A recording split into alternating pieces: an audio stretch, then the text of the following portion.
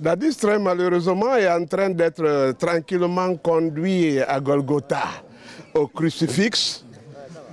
Euh, pas pour être comme Jésus, mais pour remplacer le criminel que Jésus avait acquitté.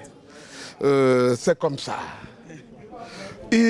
Nous avons avec beaucoup d'attention, beaucoup de satisfaction suivi l'interrogatoire qui vient d'être mené parce qu'il a permis de répondre à des questions que Dadis avait refoulées quand il était question de nous. Sa crise de colère est due, euh, est née de sa propre maison. Il est mis en embarras par ses propres avocats.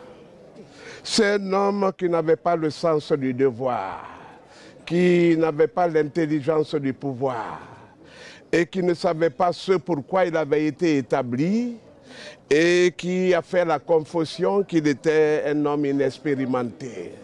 Mais le peuple de Guinée est un peuple majeur, euh, idéologiquement, politiquement, en tous les domaines, il est mature.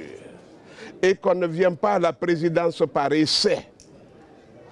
Eux, ils croyaient que nul ne savait ce que inintelligemment il avait bâti. Il fallait réserver. Vous voyez, une première explosion qui le met hors hein, chaos déjà. Il y a d'autres explosions que Toumba nous a demandé de lâcher. Elles viendront parce que nous savons que c'est le premier tour. Il y aura le second, il y aura la confrontation, il y aura la plaidoirie.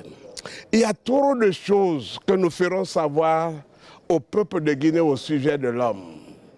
Mais déjà, il est en difficulté.